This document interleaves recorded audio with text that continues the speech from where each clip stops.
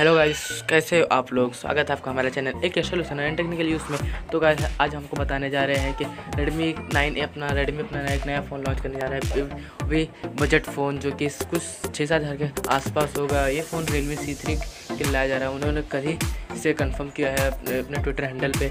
मानो कुमार जैन ने बताया है कि रेडमी नाइन ए बहुत ही जल्द लॉन्च होगा। रेडमी नाइन ए भी हो सकता है और साथ साथ इसका नाम रेडमी एट ए डुअल भी हो सकता है, क्योंकि इसका जो टीज़र आया था, उसमें लिखा है देश का दमदार स्मार्टफ़ोन तो ये फ़ोन कुछ इसके कुछ स्पेसिफिकेशन जैसे कि फाइव थाउज़ेंड एम की बैटरी टीज़र में लिख के आ गया था और साथ साथ डुअल कैमरा हो सकता है इस फ़ोन में।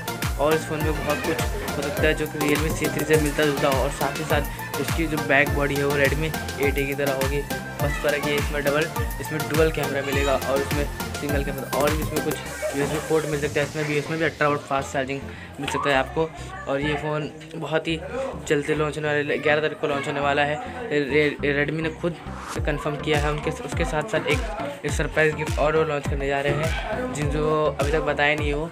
शायद से मुझे लगता है कि रेडमी का कोई पावर बैंक लॉन्च होगा, या कोई स्मार्ट बैंड हो सकता है लॉन्च हो जाए। पर जहाँ तक उम्मीद है कि रेडमी अपना पावर बैंक लॉन्च करेगा।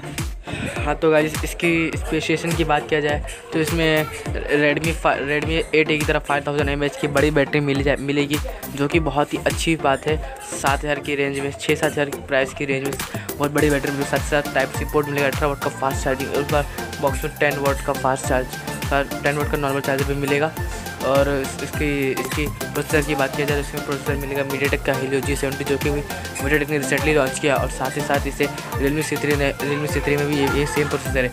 इसलिए इसलिए ये लगता है यही सेम प्रोसेसर आएगा इसमें भी। और इसके कैमरे की बात की जाए तो इसका कैमरा पीछे डुअल कैमरा होगा जिसमें twelve plus two mega pixel का कैमरा होगा और फ्रंट कैमरा की बात की जाए five mega pixel front camera होगा और उसका display five five D Gorilla glass का होगा जो कि हर जो कि हर शॉमी अपने हर फ़ोन में देता है फाइव ग्लास प्रोटेक्शन जिससे आपका फ़ोन बहुत ही ज़्यादा मज़बूत होता है और गिरता गिरता तो जल्दी टूटता नहीं है। और भी इसमें बहुत सारी जो है, जो कि अभी रिवील होगी, जो आप इसलिए हमारे चैनल को सब्सक्राइब कीजिए और हमारे चैनल से बने रहिए। हम आपको इसकी जुड़ी हर खबर देते रहेंगे। जब तक के कीप स्माइलिंग और हमारे चैनल को सब्सक्राइब कीजिए। A K solution and technical use goodbye and thanks thank you